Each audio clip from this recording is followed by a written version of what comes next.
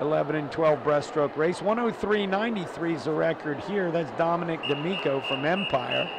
You see the guys in the first heat, Matthew. Alexandru Cuckoo, correctly. Cuckoo Kachu. Timothy Murphy, I know a Tim Murphy. Pretty good coach at Penn State. Charles is in lane number four. Then Michael, Brian, Calix, and Nathan on the far side.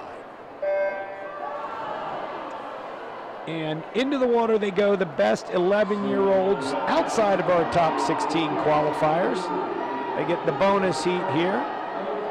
Michael's uh, Michael O'Connell's sister Katie was uh, second place in the uh, 13-14 200 breaststroke earlier tonight. Well, in, in the center of the pool, that's Charles Greenwood. He was fastest this morning from NCAP, nation's capital, with a 112.20. But sneaking out there in lane two, look at that green cap. There's Cuckoo. Cuckoo, there he is. Alexandru Cuckoo. He is Great Lakes, and he said, hey, I want those guys to say my name. I'm going to get the lead, and man, I'm going to try and win this heat.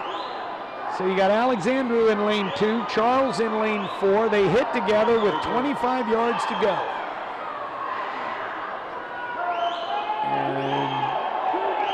It sure looks like a tight one. This is a very tight race. See Oh. See see who's going to have the best finish. Strategy of getting Cuckoo coming in pretty strong. And he oh. will take it. 111.35 for the 11 year old.